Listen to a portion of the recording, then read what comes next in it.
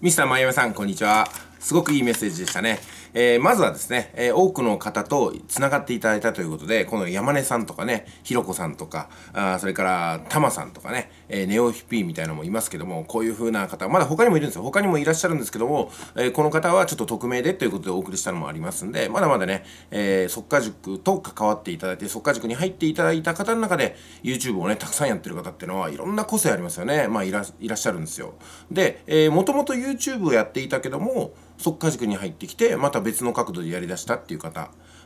もともと YouTube をやっていてプラス速化塾にも入ってるから別に速化塾はあんまり影響ないですよって方もいろいろいらっしゃると思うんですけどもやっぱりね、えー、ミスターマイアミさんがお話になるようにそのネタがねありすぎて困るみたいな状況になるはずなんですよ。要するにアンテナがすごく広がってきてこれがねコンテンツ量産能になってきたんですよ。そうなんですよね。あのネットビジネスで儲けよう情報発信で儲けようと思ったらまずは無料コンテンツ。フリーコンテンツがたくさん作れないといけないんですよ。ね。私が動画を出すたびにセールスが入ってたら見ますってことなんですよ。そうなんですよね。テレビ番組でもそうなんですけども、テレビが60分あったら CM ってほんと5分ぐらいなんですよ。このペースなんですよね。だから動画を量産する中で100本とか200本とか5000あ500本とか1000本ある中で、えー、セールスの動画は5本とか10本みたいなバランスじゃないといけない。んでだから動画の量産っていうのが下地になっていくんですよね。そしてどこかでセールスはしなければなりません。セールスをするとなるとそのセールスをする前振りとしてその今までのフリーの動画無料の動画がどうつながっていってるのかってことが非常に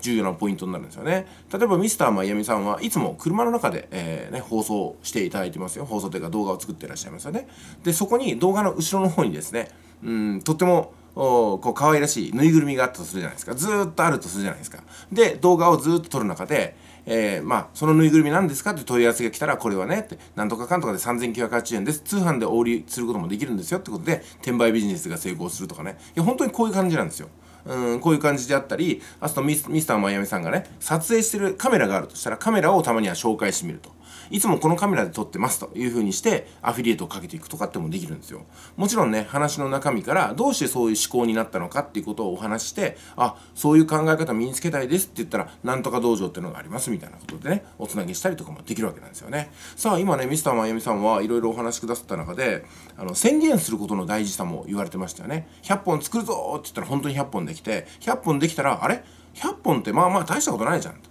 自分ができたことはまあまあ大したことないじゃんってどんどん変わっていくんですよ。私はあの YouTube をね1万本以上撮ってますけどもやっぱりね1000本って聞いてもあんまりびっくりしないんですよ。あ1000本かまだまだだなみたいな感じで思っちゃったりします、まあ、もちろん数の上ですよ質の高い動画っていうのはあると思うんですけども質の高い動画を意識して作るのは難しいですからね。まあそういった形でですね今回ミスターマイアミさんの速化塾に入ってよかったみたいなあこんな感想があったんですけども最大のものっていうのは金融リテラシーですよね。金融リテラシーって、うん、どうして大事なのかってことを申し上げますと私の考えではですね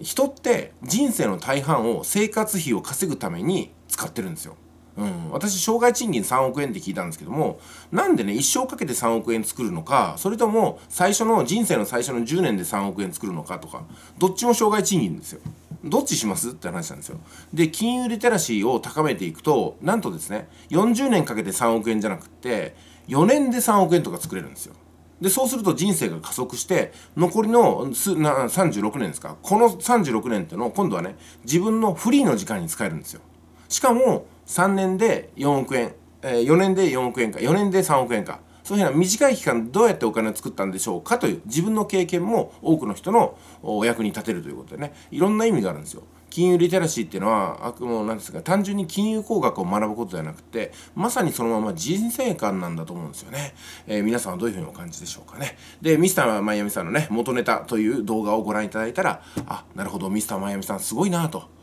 先月総括塾に入ったばっかりなのにもうここまで考え方が変わってるんだ。もうこんなかたくさんの方と関わってるんだっていうふうに思えると思います。でね、えーと、今回の動画の最後にちょっとねメッセージを送りたいんですけども、えー、ひろこさんのバランスボールねこういったもの、うん、バランスボールってあのひろこさんってねまだお孫さんがいらっしゃるんですよ。